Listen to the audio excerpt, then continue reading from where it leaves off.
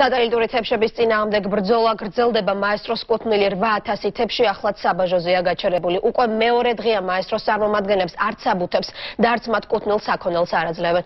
ტელეკომპანიის თანამშრომლების განმარტებით საბაჟოზე მათი საქონლის შეტანამ თანამშრომლებში დაბნეულობა გამოიწვია. თავად მებაჟეები კი საქონლის შეფერხების მიზეზად საბუთების უზუსტობას ასახელებენ. შეგახსენებთ, რომ ცოტა ხნის წინ ტელეკომპანია მაესტრომ ახალი კამპანია დაიწყო. მაესტრო ყველა ოჯახში ამ აქციის ფარგლებში ტელევიზიის ხელმძღვანელობა სატელიტური თებშების დაყენებას მთელი ქვეყნის მასშტაბით გეგმავს. მოვიდა ერთ-ერთი მაგათი უშუალო ხელმძღვანელი და მეუბნება რომ საბუთები კამერალურ შემოწმებას გადის.